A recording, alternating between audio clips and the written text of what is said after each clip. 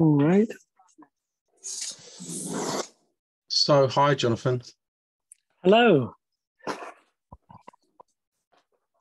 Hi. I hope the Northern Lights Oh, that's great. put you off. Yeah, Put I uh put me off a bit. But no, it's lovely. I, I was in Norway. We didn't manage to get the opportunity to you can go and try to see them, but there's never a guarantee. yeah. So, did you see them? No, no. Yeah, you have to go out. We were. Um, I think you, you need to go further north than most of the uh, urban areas, Yeah. or somewhere higher. I can't remember which, but wherever where we were, you had to go further. You can see Um, them in Scotland too. Apparently, it's like it's just however far north you go. yeah, yeah, I, yeah. Does it depend on the um, uh, the local conditions, or is it more uh, uh, Earth some sort of d- determination? Do, do you see what I mean? If you're high up on a mountain, are you more likely to see them? I Uh, don't remember. I don't know. That's beyond my field of expertise. I guess if you're high up on a mountain, you can see you can see more stuff. That's but yeah, that's my that's the extent of my knowledge. But it's beautiful, beautiful yes. stuff. Even Yeah. digital digital world, digital What? world spirit, world of Yeah. spirit. I mean, it just reminds us that it's there and it helps to evoke. And if you can, you know, with your imagination, just uh, kind of, uh, uh, uh, you know, it makes you think, wow, how, something like that happening. The sky turns green and, and kind of shimmers. And Yeah, What- I mean, why not? It's like uh it it does help us at least to to have some kind of eurythmic, some kind of flowing form. Maybe to do something, you know, there's all this the the fear of the digital world, but I mean it's still beautiful. I mean, I okay, maybe I'm a bit of a magpie and I like sparkly things. it's and I always, ha- I always have done, Yeah. but yeah yeah i mean it's it's becoming more and more the world of experience for people and i don't know, is would it be less if you sort of experienced the northern lights only digitally and you sort but it might you know in, it might stimulate someone to go i'd like to go and see it for real and and, and i think there obviously you would gain more of an impression if you were open to it because you're in a vast open expanse you know you can turn around and see the whole skies that's the that's not the Yeah, contained sure. I mean, it's like the discussion. If you listen to, you know, you listen to a recording of of a concert or classical music, and it's completely different to see it in reality or to see a play. If you see a play in reality, or if you see it on a on a screen, and it's a very subtle thing. Um, but it, but it if you missed it if you missed that play it's great to get a recording of it if you're into that Yeah. Well, it's still, I mean, it's just wonderfully convenient, isn't it? I can, and it, it, you can still use your imagination and try and go into the thing that is being conveyed or described. I mean, the words are still there, they're still unique that we're saying to each other.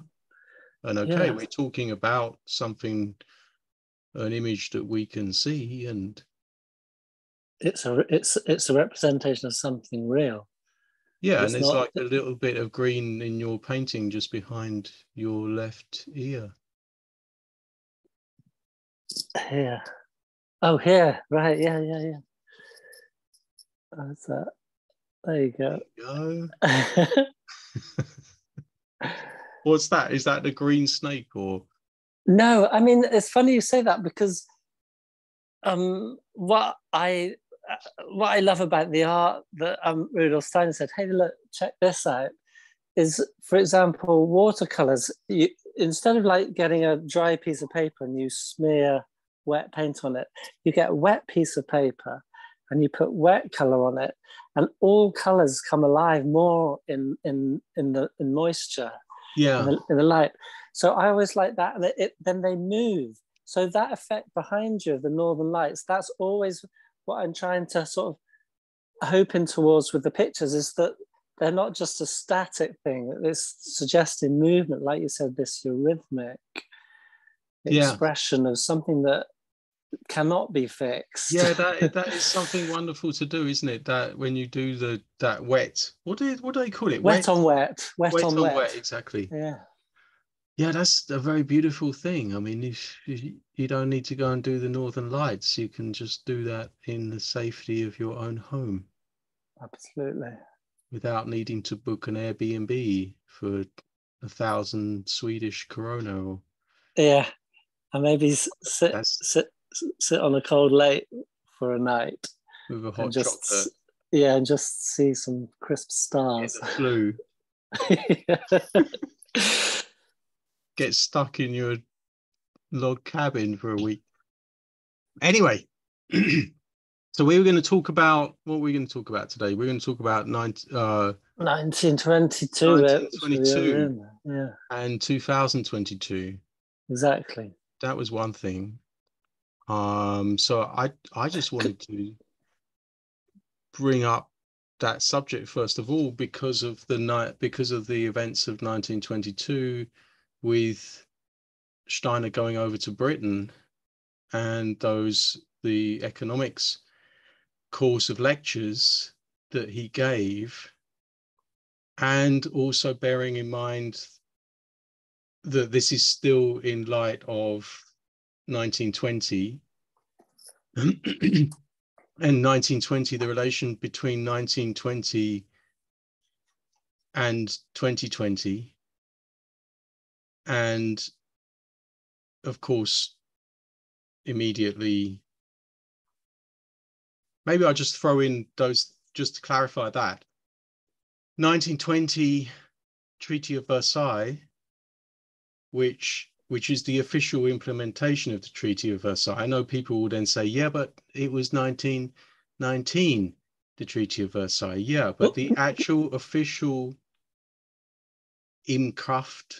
Kraft and as they you know the actual official Was that when they all came together and you know certain countries were allowed in and Turkey who fought weren't invited, etc. I can't remember the exact details. Was that was that well the, the, the uh this is the this is then on the 10th of january it comes into official effect that's the date of law 10th of january 1920 So is that when they say, right, Germany, you're to blame for everything. You have guilt of reparations, and this is what you're going to pay back. Is that, or is it? Are you? yeah it's setting Yeah. up that that whole system which then leads to the the post Today. yeah let's let's cut to let's just cut to the chase yeah. that leads to the rise of Nazi Germany, World War II, So New World, Yeah. New World Yeah. Order. Yeah. So in, in 1922, there's still the Bolshevik socialist experiment going on. So that was a Western experiment injected into Russia because they, well, one reason they knew it, could- they couldn't try it in the West, uh, West West, but also, you know, to determine future control of Russia. So that's the Bolshevik experiment. That leads then to the National Socialist experiment injected into Germany. So you know that's very much to do with keeping Yeah, Germany. and it's also you've and- also got the New Russia Deal with Roosevelt out in in America. So you've got you've got almost similar socio socio political impulses in the east, the middle, and the west. Yeah, reflected in Germany, Russia, and America in those three aspects. So what we what what we need there's I mean there's there's uh we don't want to bore people with going over things you know that are written in untold books. I mean there's there's Okay. uh So yeah, it's just like interesting because I, I think it then all of that just to follow that thread through Yeah. leads to the Great Reset, which I I think in a way is like the, the the third major great social experiment, but this one's a global one. Yeah, well, that's interesting how those three, if you said that they were like three experiments, and then like we were talking about previously, I don't think it's, I don't think that these dates are just plucked out of thin air. So the fact that the implementation of what happened after at the beginning of 2020 exactly 100 years after the official implementation of the Treaty of Versailles, I don't think that that's a coincidence. You have then the the basis for a new system being kind of rolled out with the, the Great Reset. and then 2020. Yeah. Klaus Schwab writes the Great Reset in summer of 2020, where everything is laid out. And then a lot of what we've seen since then has been actually written about and laid out in, in those policy documents. So of the United Nations and the, you know, that that this is a, a well thought out uh, plan for changing the economic system.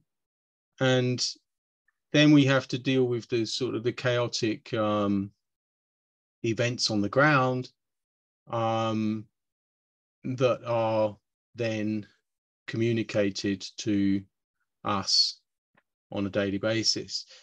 So that's the I I think it's important to recognize, and I'd like to go right into to the anthroposophical side of that with the hundred years thing, because we've got hundred years from 1920 to 2020, and then this year we have the hundred years from 1922 to 2022, which is 100 years from when Rudolf Steiner was giving these first associative economic Yes.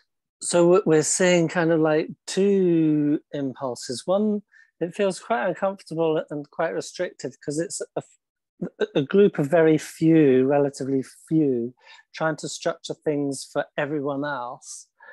And then there's Rudolf Steiner impulse and people um, working with him uh, and so forth, which is completely different impulse. One where everyone is invited, everyone's exactly a player. that, that, and that's what i find exciting like if we say well why you know why on earth would we even be doing this talk?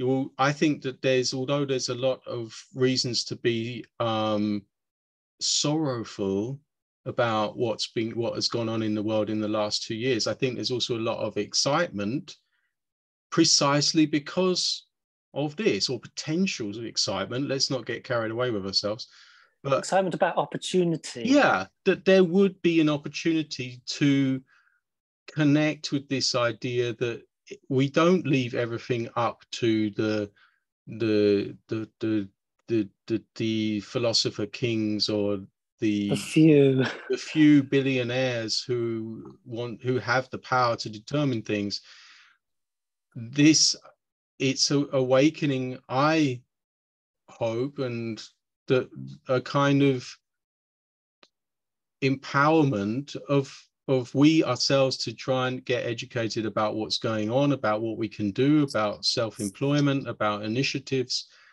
and all of this is what actually Steiner was talking about. He just didn't have time to bring this into effect. He died in 1925, and many of these impulses were from 1920 to when he died. And again, we have to remember that the first Goetheanum was burnt down Yeah. in 1920. And this was a, in 1920, exactly. This Oh, was sorry, in 19 um, 22, New Year's 23. Eve, 1922. Yeah, yeah. it's opened in 1920. That's the point I wanted Right. That, So yeah. you had Treaty of Versailles on the one hand, and the first Goetheanum being opened. I mean, what a wonder! What a great distinction between the two. Of Versailles and the opening of the first Goetheanum. I mean, if you if you ever wanted a clearer expression of you have to choose a side, yeah, yeah, like the Treaty of Which one are you gonna Versailles. All, all, all these guys in in their in their somber suits, and you know that that they, they go to their clubs in the evening. And what can we do to divide everything up and d- decide the fate of nations? yeah, And then this great artistic marvel Yeah. That is, you know, for people to come and develop themselves so that they can help everyone else. oh no.